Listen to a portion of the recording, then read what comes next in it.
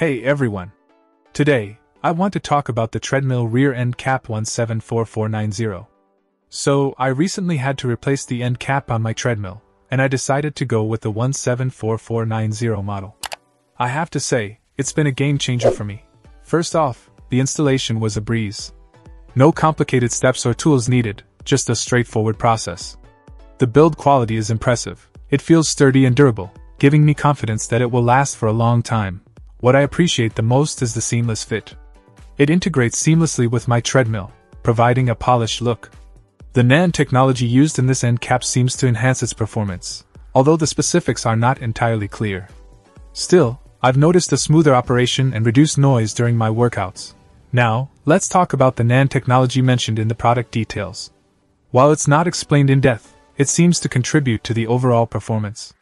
I haven't experienced any issues, and my treadmill feels more stable. In terms of value for money. The treadmill rear end cap 174490 is reasonably priced for the quality you get. It's a worthwhile investment to ensure the longevity and optimal functioning of your treadmill.